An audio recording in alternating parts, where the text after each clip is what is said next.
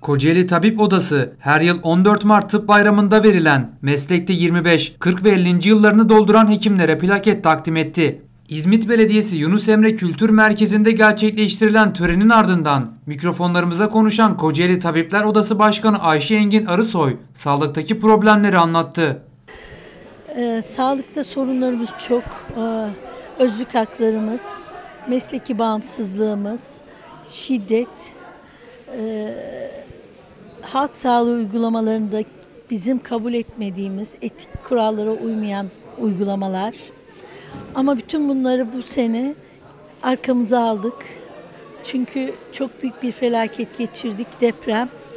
Ee, depremde hayatını kaybeden bütün yurttaşlarımıza başsağlığı diliyorum.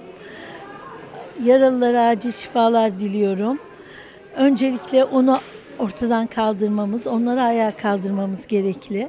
Ondan sonra inşallah hepsinin teker teker sorunlarının sorunlarımızın üstesinden geliriz diye düşünüyorum.